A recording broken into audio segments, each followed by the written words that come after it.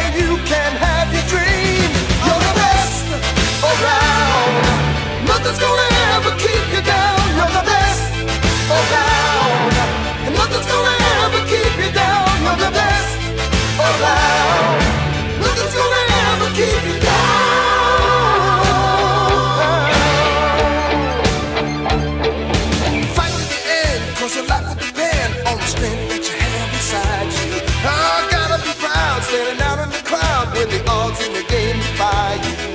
Try your best to